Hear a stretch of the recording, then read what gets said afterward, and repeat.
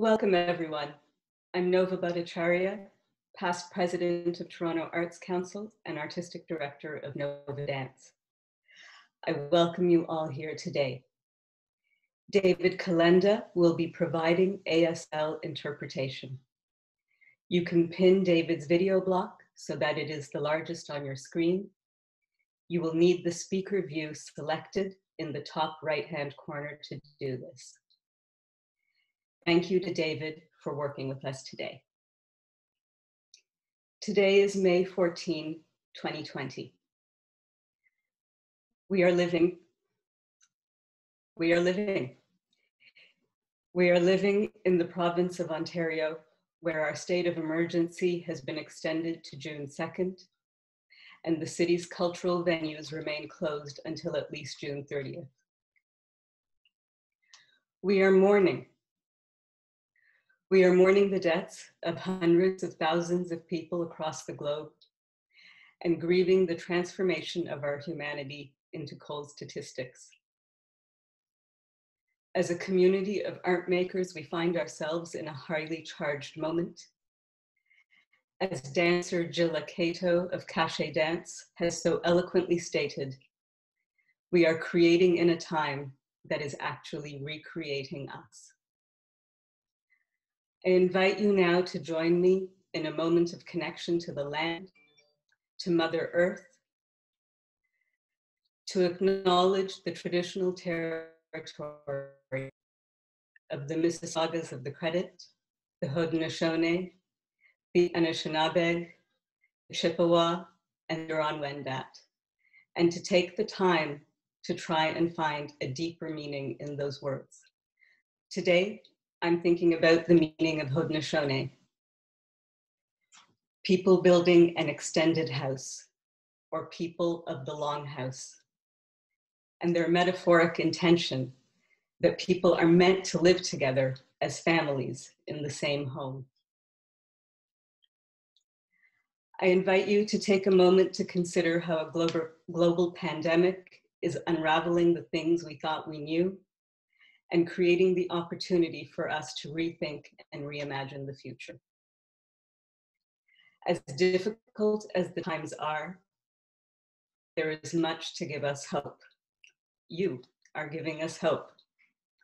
The way you are exhibiting leadership and stewarding your own organizations, the generosity and compassion that individual artists are sharing, and the way that all of you are working to uphold the place of the arts in society. You're inspiring.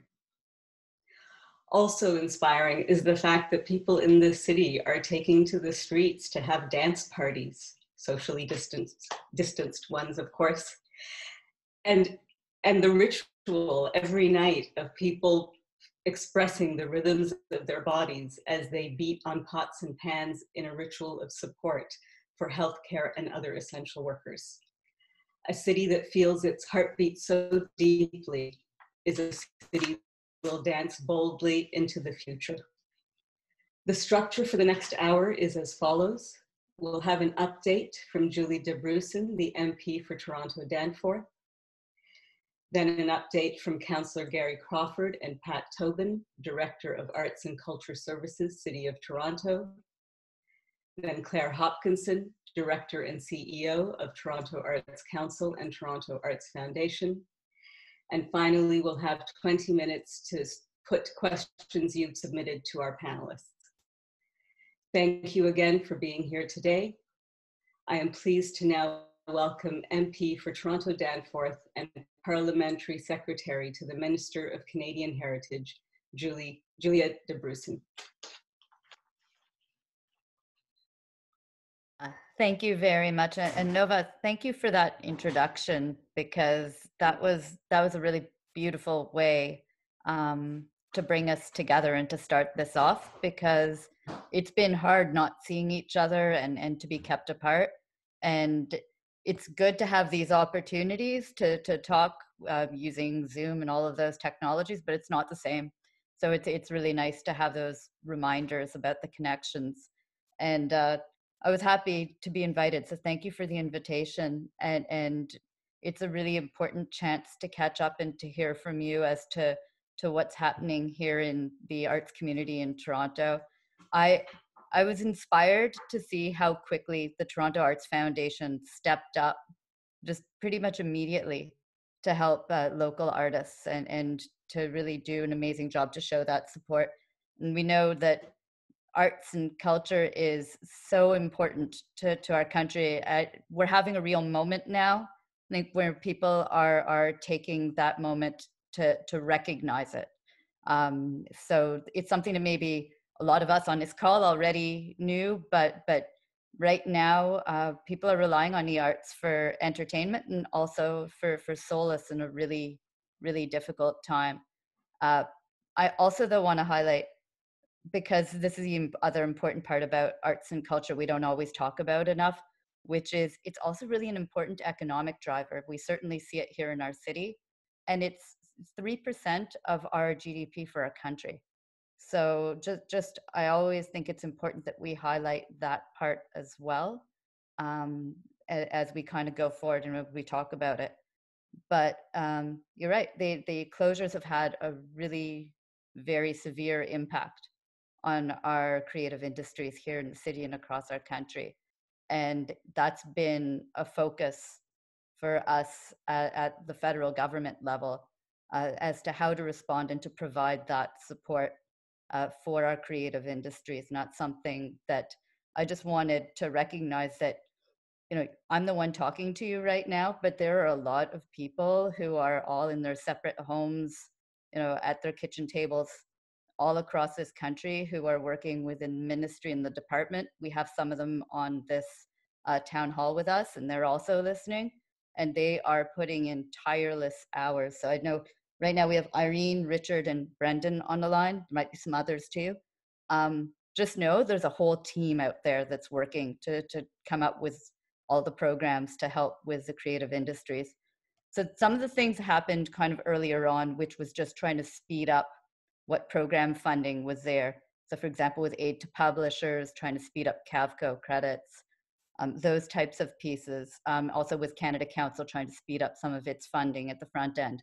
But in the past, um, in the past week, you will have just heard about more details about $500 million in funding that came from the federal government to support the creative industries. And that's going to be the part that really we should all be looking at right now for, for having a big impact because the goal of that funding is to help to keep our organizations going and to, to actually help to make sure that workers in the arts industry are supported, particularly those who are freelance and who are um, who are self-employed, who might not be able to access things like the Canada Emergency Wage Subsidy. So it'll be coming out in two phases. Uh, the first phase is going to be going to existing, um, for lack of a better word, clients of Heritage and of the Canada Council. The reason it's designed that way is for speed. It's really to try and get funding out as quickly as possible. And the good news about that is that the way it's organized, you don't have to apply for it if you're an existing client um, it's actually they're going to be reaching out to you. So it's really to try and make it as easy as possible and as quickly as possible. But phase two is the next part.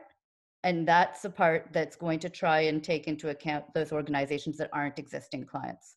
So there is a second phase, and that's accounted for within the money that's been allocated. I just wanted to make sure that uh, I give some comfort there that there's another phase to it within the 500 million. But people who already are receiving funds from Heritage and through Heritage programs through Canada Council, um, you will be, as part of the phase one, you'll be hearing from from people shortly. So that's that's a part. And the goal for that funding is to actually try and get that first wave of funding out by the first week of June. So that's that's the goal on that. Um, I also want to take into it just just let you know before I let you go these kinds of town halls and all of the feedback we're getting from arts organizations and artists is really important because it's also where you see tweaks and changes being made to existing programs as we go.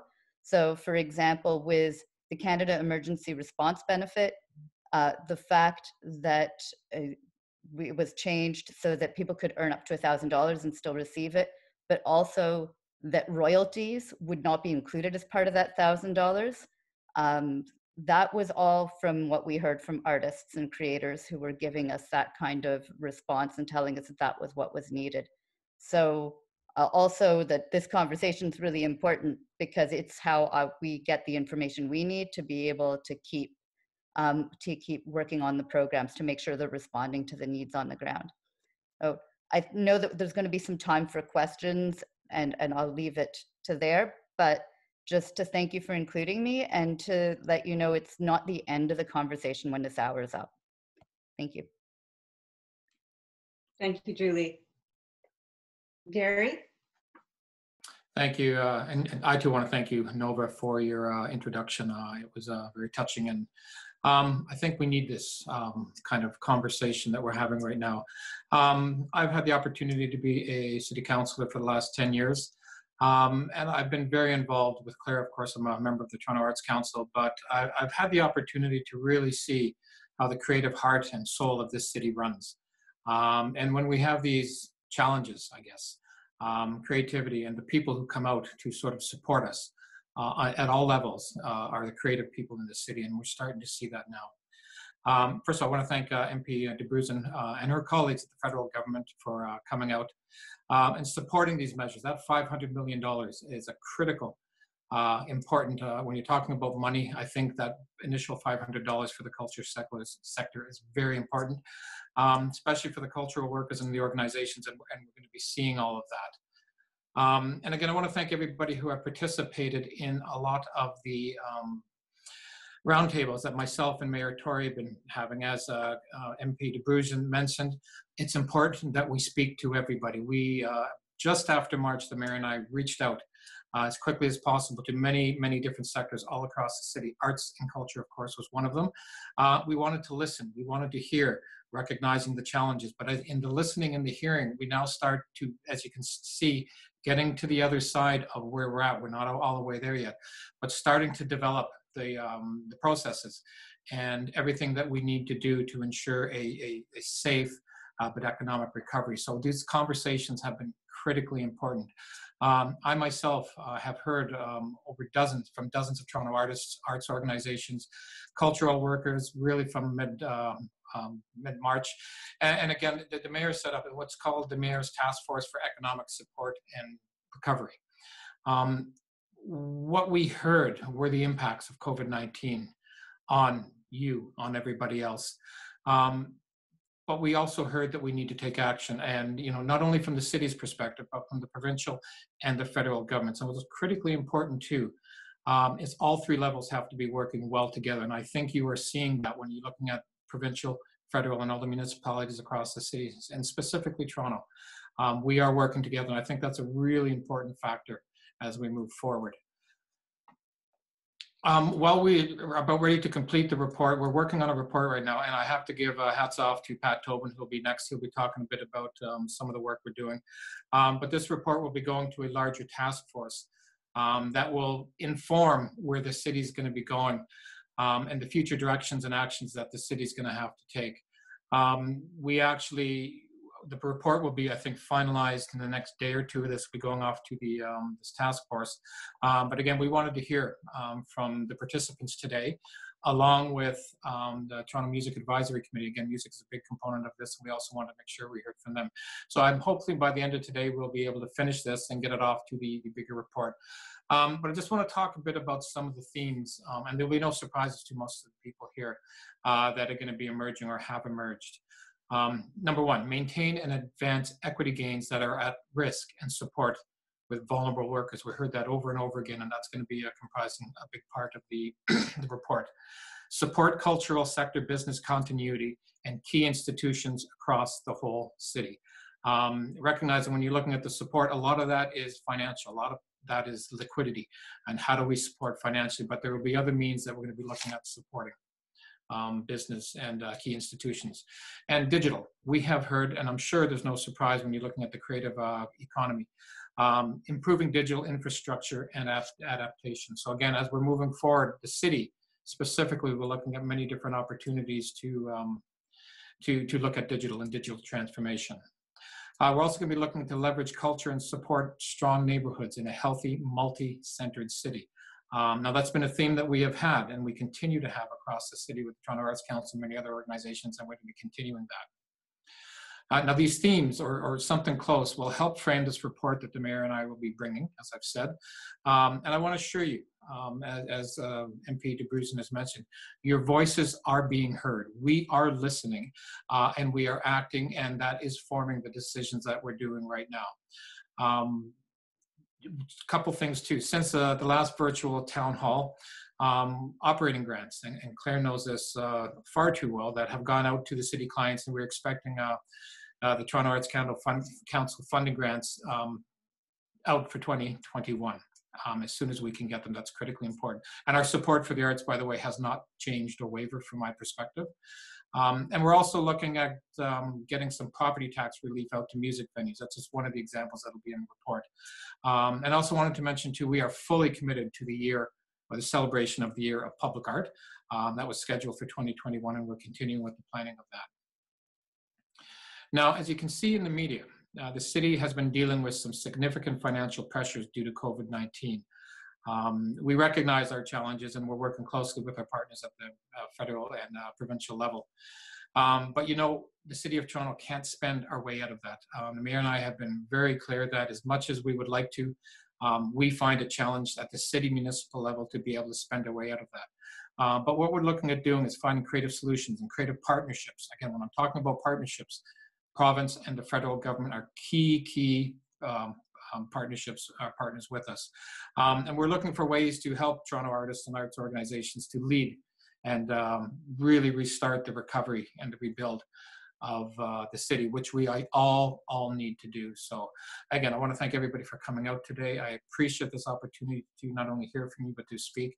Um, we also need to let you know what we're doing. Um, and one of the things I've heard in speaking to the not only on the arts community but even residents in my ward um, is what's happening um, we need to know and where are we at. And i think that's critically important that we ensure that we give right proper information to everybody. So on that i want to thank you so much for the opportunity to be here today. Thank you gary. Pat can you share some thoughts with us now? Sure uh, thank you Nova and um, i'd actually like to uh, thank nova for the incredibly beautiful moving uh, opening that she brought um, and reminding us of, of, what's truly important. Um, I'd like to thank uh, MP Dabrusin as well, and as both she and Council Crawford have said, the level of collaboration uh, among funders is better than I think many of us have seen in years, and, and that's a really good thing. But it's also taking its cue from the broader cultural sector, which has been collaborating highly effectively, whether it's advocacy or coming together on joint initiatives like Urgent and others. So it's been amazing to watch that. Uh, I'm just going to touch a bit on uh, update on operations, a little bit on some announcements that come out last uh, couple weeks, and then talk a little bit uh, about what's uh, next. So just by way of operations, uh, you may have seen in the media conversations around uh, city staff working to shore up essential services such as shelters and long-term care homes. So that has been something that the staff at Economic Development and Culture have been doing. Um, and uh, I'm really proud of them for doing that. And it certainly is really challenging uh, work and, and rewarding uh, ultimately. Um, so those redeployments continue and, and will wind down. I mentioned now just uh, that your service levels as clients of economic development culture might have changed we're trying to ensure that we stay in touch with you, uh, even if some of us are, are not at their desks. Uh, and so we've introduced things like a, new a newsletter, and uh, we'll continue to make sure that we, we're there available to you. Um, the city, uh, further to, to Councillor Crawford's update, uh, is making a few, uh, has made some minor reductions in staff. We've had some minor layoffs in EDC, and that's for services that are deemed non-essential, such as uh, if museums are shut uh, and there are staff associated with running those programs. Um, we waited as long as we could, but have uh, have taken a step to lay some off and be able to recall them as soon as we move into the restart and uh, recover period. I want to recognize as well, though, that I say that knowing fully well the security available to uh, public sector workers. That's unavailable to many of the people on the call. So want to want to recognize that and also um, note that as Councillor Crawford had it, uh, and MP de Dabrusin mentioned with respect to the Rapid Relief Fund from the Toronto Arts Foundation, the position of vulnerable workers uh, and the makeup of vulnerable workers in this city in the cultural sector has uh, been borne foremost in mind by everybody uh, that I'm talking to among funders, uh, those in the city, certainly Councillor Crawford, uh, in carrying that forward in the task force that he mentioned. Uh, and it will supports for vulnerable workers will absolutely form uh, parts of the responses that uh, that we'll be working on. Um, among the other areas that Councillor Crawford referred to, uh, digital transition, uh, neighborhoods, strengthened institutions, etc. Um, to note that, as Councillor Crawford said, there's a Toronto Office of Recovery and Rebuild that was announced now about three weeks ago. Uh, Saad Rafi has joined the city and is leading up that. Uh, one of the pillars of that work is a cluster around business, culture, and restart, uh, effectively the, the, tourism and, uh, and recovery of major events. Um, so we'll be working to support that, and I think in the coming weeks you'll hear a little bit more about what their focus will be. In the interim, uh, we continue to work to deliver things that we've been hearing come out of the roundtables that uh, people need. Um, folks have already mentioned the Rapid Relief Fund. Uh, just this week, Monday, we announced another uh, measure to support artists and arts organizations. It's a partnership with Shopify called Shop Here.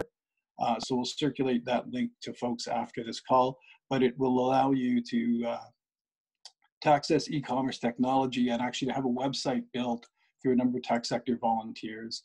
Uh, and so that should hopefully be a benefit to some folks.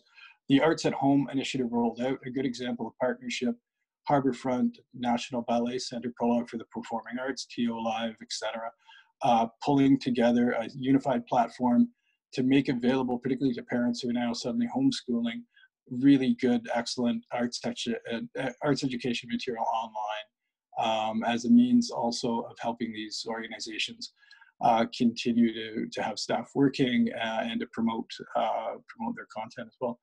Uh, next up for us is going to be the the property tax subclass that Councillor Crawford mentioned. This will be an effort to try to reach live music venues who were among the first to close and are likely to be among the last to reopen during the crisis. So we'll be bringing forward a measure to uh, council uh, as soon as, as we can do so. Please stay tuned for more on that. Uh, with respect to uh, what is next up beyond that, it'll be the work um, of responding to the recommendations Councillor Crawford has just mentioned uh, in the report uh, from the roundtables. So he outlined those themes uh, that will uh, be given to the mayor this week and will help inform the work of the Toronto Office of, uh, of Recovery and Rebuild uh, insofar as our recovery plan for the culture sector. We're going to keep talking to you to make sure as this situation continues to evolve we hear from you both what your needs are as they evolve and what your recommendations, your ideas for recovery measures will be. Uh, tomorrow will be a meeting uh, for the DeNova's uh, great unpacking of, of, the origins of Haudenosaunee uh, with Indigenous arts leaders who uh, will provide us, I'm sure, really good advice uh, about how to how to think with a long arc about the recovery uh, and what uh, what we need to do in the immediate term to take care of uh, particularly the most vulnerable among us. So I'll leave it at that. but thank you all for attending. thank my co-panelists and thank Nova. Thank you, Pat. We'll come back to you later with some questions, of course. Claire?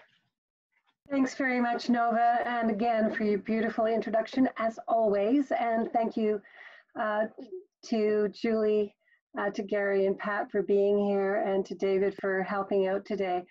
But also thanks to everybody who's taking the time uh, today to be on this call. And uh, it's great to read some of your comments and questions in the chat room today. So we've heard that both the federal government and the city have been working very, very quickly and uh, to respond to the extraordinary circumstances we find ourselves in. Toronto Arts Council and the Toronto Arts Foundation have also been intent on delivering support and assistance as effectively as we can. And you know, we know that each one of you has also been responding to this crisis very quickly, canceling performances, changing seasons, adopting digital platforms, planning for significant change overnight. But it's also true that the enormity of this challenge we are facing is far greater than any one individual organization or, or quick thinking can solve. If we're going to come through this well, we're going to have to work together. So off the top, I just wanted to say, and I hope you know this, that the Toronto Arts Council and Foundation, our primary objective is always the well-being of Toronto's artists, our arts organizations, and our citizens who enjoy the arts. This means that we are going to advocate to make sure that Toronto gets fair access to federal and provincial programs and that all of our advocacy and programming is considered through an equity and human rights lens. Now is not the time to lose sight of these values. So as mentioned, this week uh, we wrapped up our TO Artist COVID-19 Response Fund. I'm delighted to report that 932 artists, in fact, every eligible applicant, received a funding totaling $836,347. Uh, the fund was launched with $450,000 from Toronto Arts Council and Foundation combined. And in a very few weeks, it was remarkable and heartening. Individuals, foundations, and corporations donated an additional $386,347, which was enough to meet the immediate need. And there are so many remarkable stories in that. And there were some donors who came back week after week to keep on topping up uh, the fund. And we are going to continue to work through the foundation to encourage philanthropy and to encourage uh, corporations to keep up their important contributions to the arts sector in Toronto. Um, also worth noting is that Toronto Arts Council and Foundation are, are working with other partners, uh, particularly um, on research. Um, in particular, Ryerson University on two research projects to bring about um, important support to arts organizations as you're all striving to manage in the face of this uncertainty.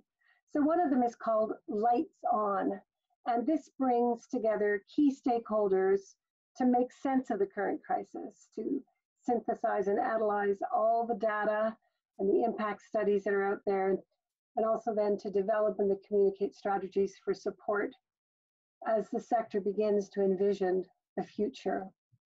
The second one is called Q to Q, and that is going to draft guidelines for occupational and public health standards in performance venues during COVID recovery particularly focused on the backstage end of things and rehearsal end of things, not the front of house. Very important.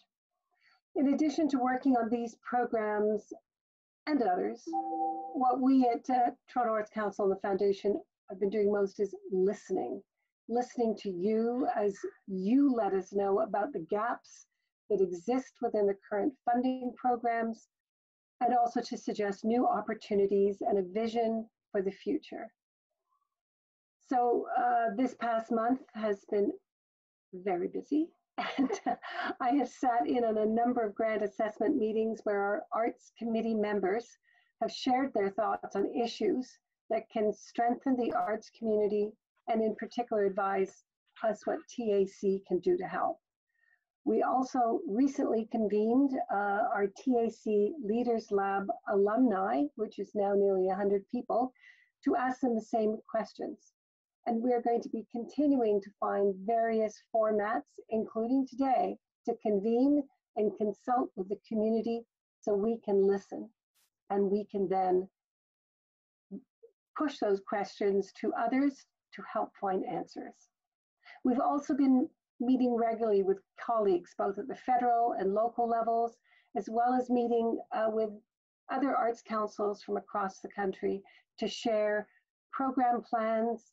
You know, we need to learn from others, and we also have to ensure that we're not working at cross purposes, um, and that we can continue to communicate issues that are relevant to Toronto's artists and arts organizations.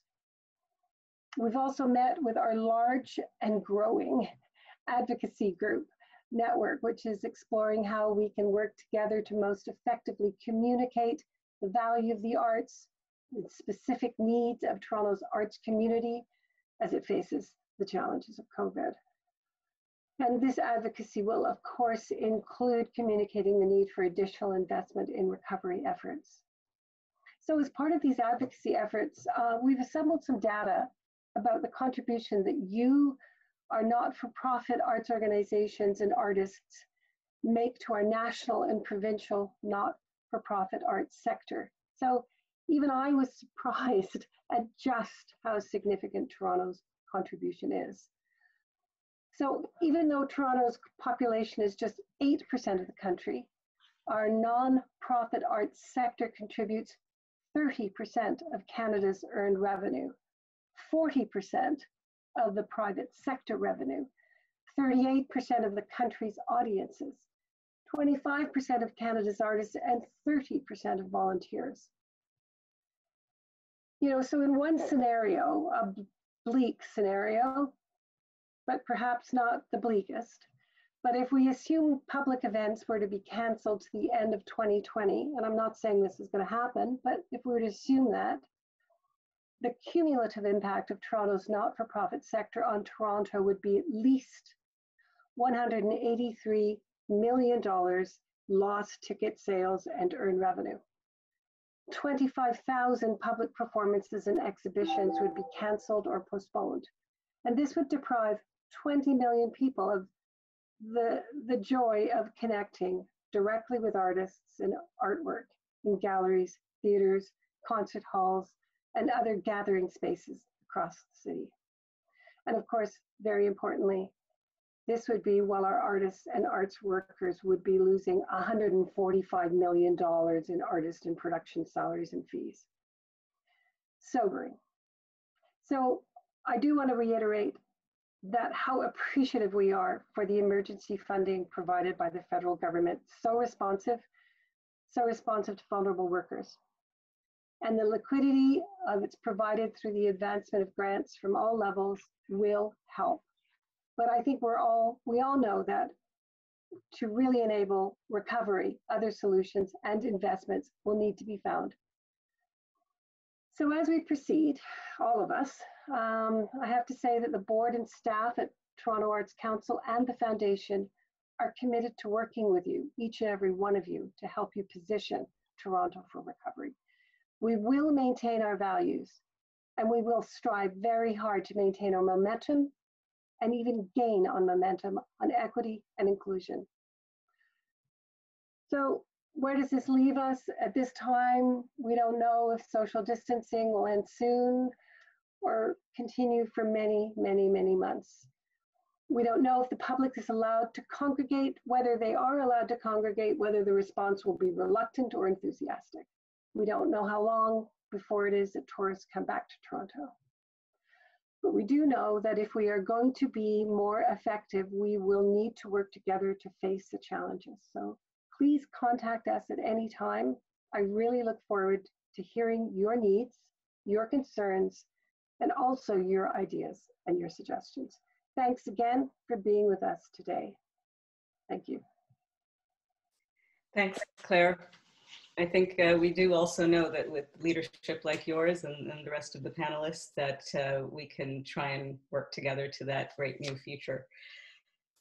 Um, thank you to MP de Budget Chief Crawford, Pat Clare, and David Calenda. We received a number of very thoughtful questions from you, many of which were, of course, duplicated. So they've been grouped into separate topics, and we'll do our best to get through as many as we can. We put them in the order of the most popular, and the first one was about federal funding. Most asked questions about support for organizations that currently fall through the cracks. In particularly in particular sheena robertson asked what is being done to advocate for smaller arts organizations? CEBA doesn't apply to us because we do not pay our artists through payroll and the emergency support fund for cultural heritage and sports organizations doesn't apply to us because we are not already funded by Canada Council or Heritage. Uh, I'll hand that over to MP Dabrusin and just add a lot of questions have been coming in since your statement about a little clarity about what existing client means.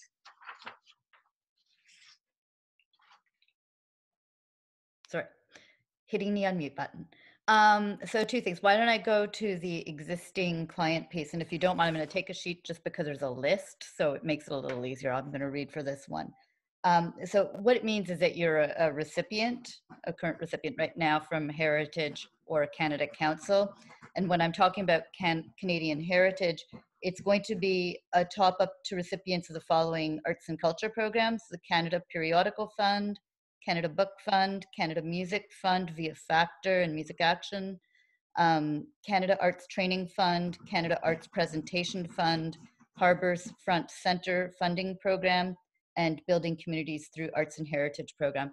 I'm sorry for the piece of paper, but it was just, it was a bit of a list. So it, it gives you an idea of if you're a recipient of, of one of those programs or from Canada Council, then, then that is, is for phase one.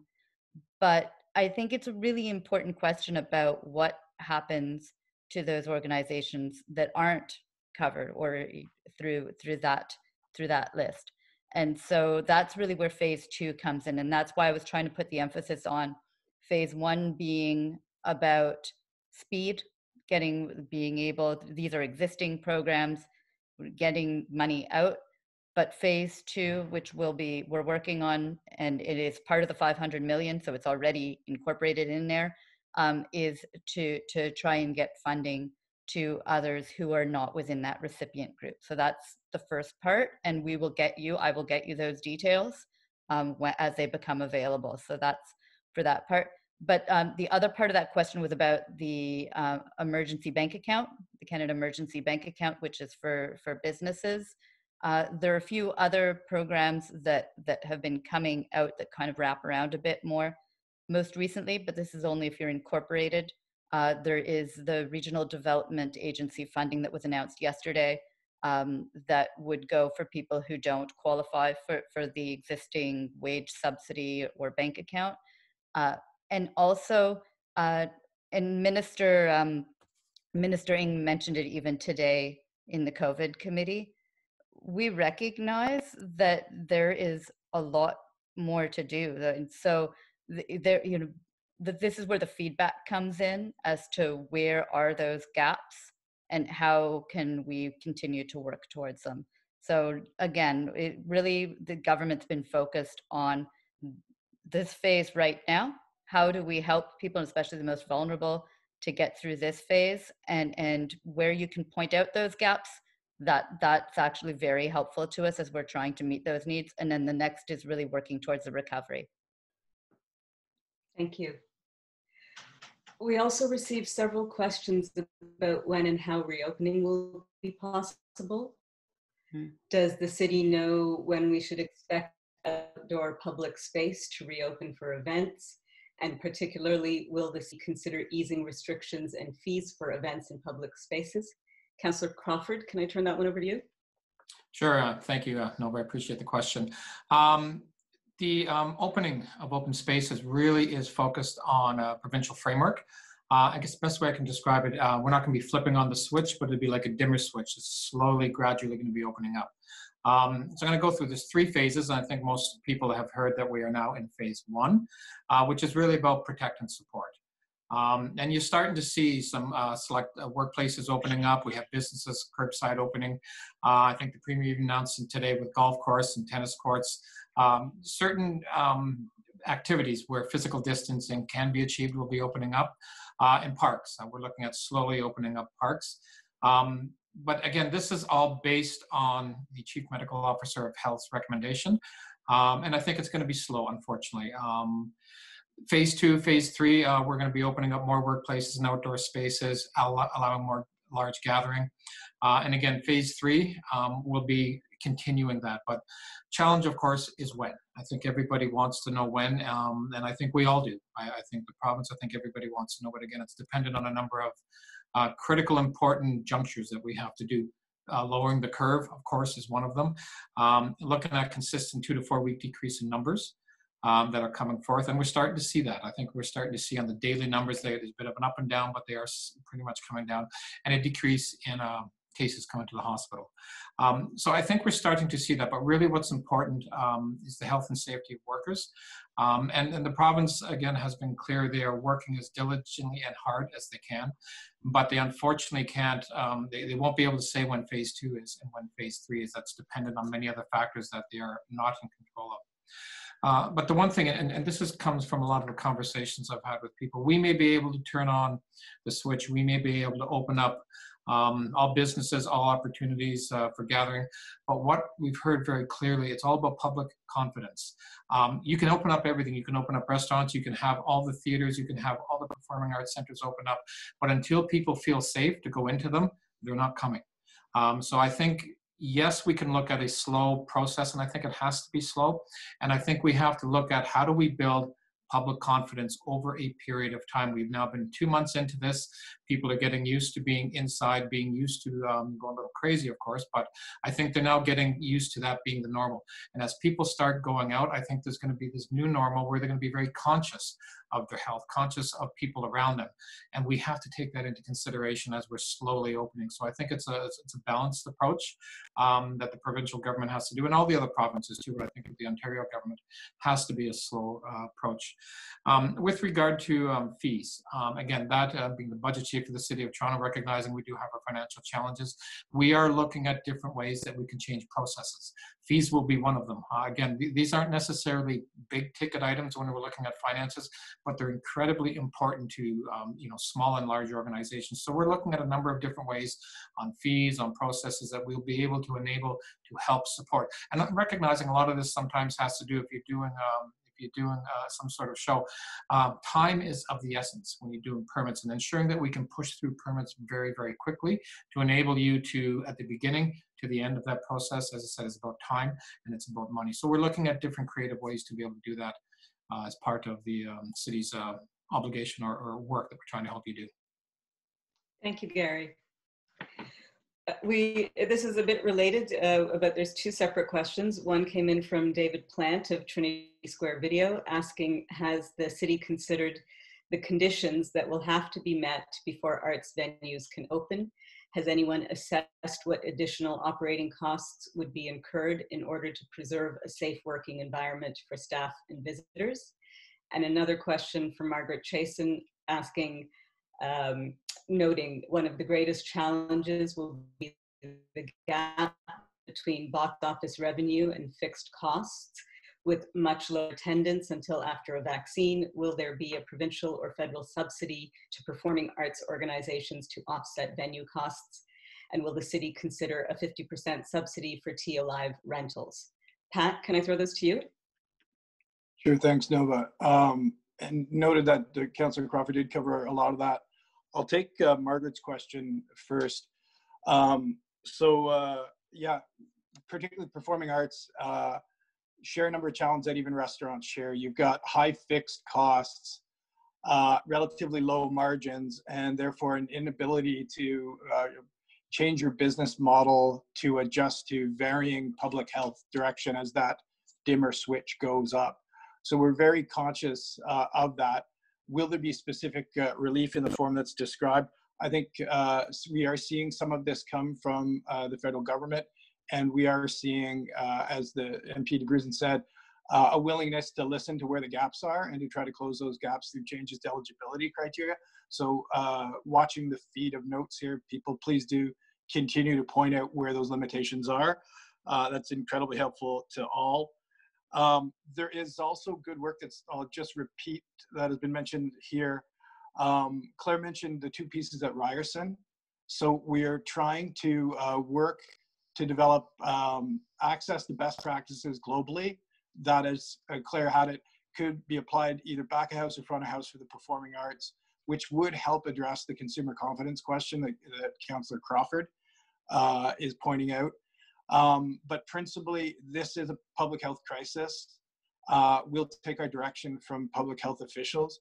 Uh, there are a series of those criteria, the infection rate, health uh, care sector capacity, the public health infrastructure capacity that we will continue to watch and those changes principally led by the provincial emergency orders, will play out and will adjust.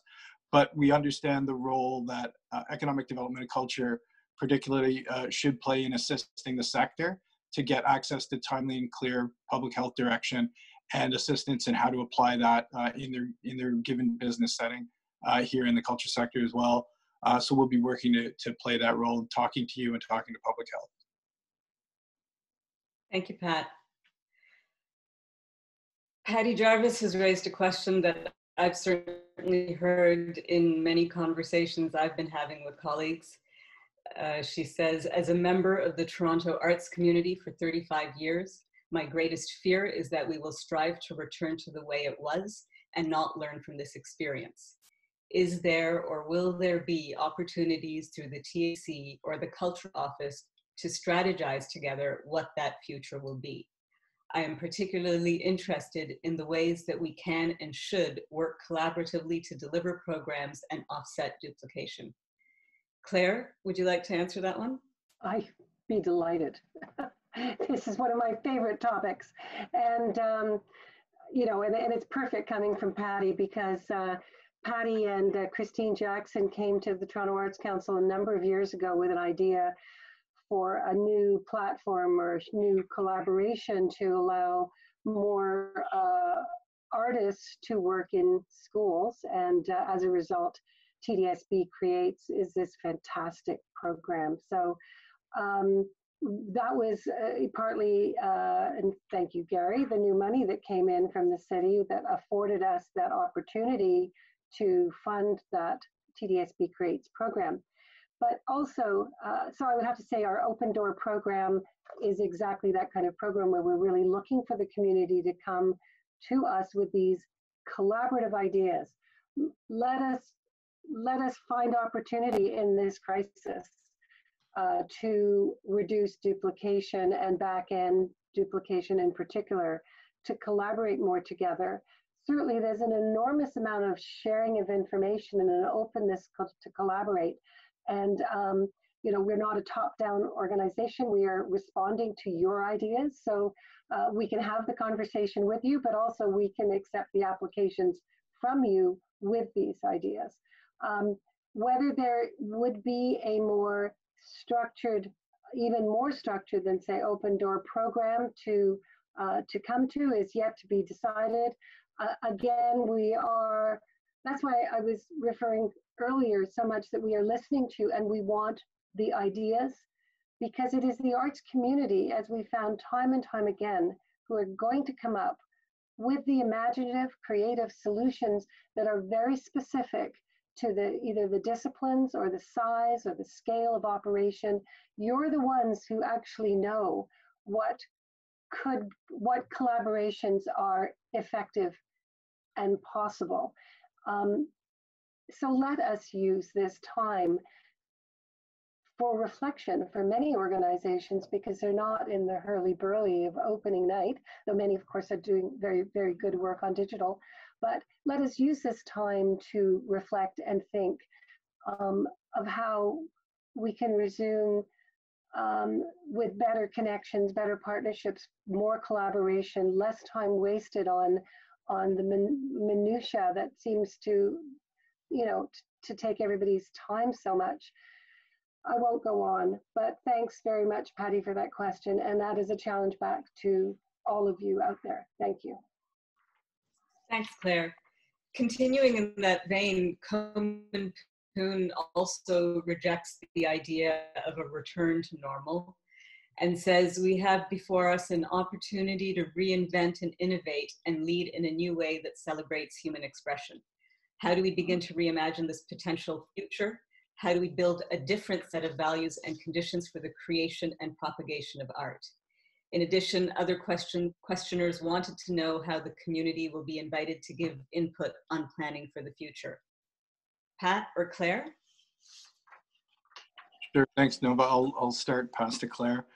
Um, absolutely, I think there's a growing consensus um, uh, for the people that I'm working with, be they counselors uh, or senior city staff, uh, that the scale of this challenge does not allow for uh, an easy rush back to the status quo, but affords rather an opportunity to try to figure out what a reset might look like. And I think you're seeing a shift in language, uh, even from recovery, which might suggest more return to the status quo, into things like rebuild, reset, um, reimagine. Um, I, I, think uh, figuring out what are the the big pieces that need to be worked on has been an incredibly uh, useful process with the cultural sector roundtables. We've touched a bit on what people have been asking for, but in one roundtable with youth arts leaders, just to choose one, uh, they talked about from their own client base uh, a growing sense of hopelessness with respect to job prospects, uh, economic prospects in the creative sector. And, uh, and certainly that's visceral for them, but they scaled it back out quite quickly to say that, look, uh, the talent pathways that have existed in the city for 25 years have fed effectively today a virtuous cycle where you know Toronto's cultural output uh, is known around the world, uh, and people want to come here, and there are all kinds of important uh, effects of that on our economy, on the livability of our city, uh, on our diversity model, uh, and that we can't let that unravel uh, in a rush to try to uh, restore uh, perhaps what exists. Um, so it's really, really important to think forward, you know, not just five years, 10 years, but 25 years and think about what structural things can we work on now that will set us up for success.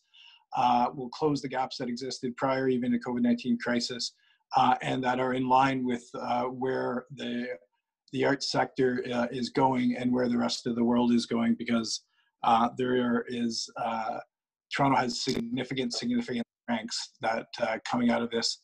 Um, I think we can we can work to, to, not be naive about this, but I think we can work to shore up and come out uh, stronger and having addressed some deficits that had accumulated.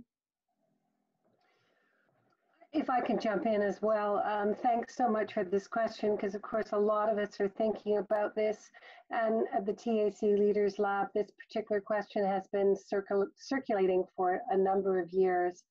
Um, and, and we, while we have seen great progress over the last few years with um, an increase in the number of diverse voices afforded opportunity and the ensuing benefits of that, the, the, the fantastic works that have come out of that.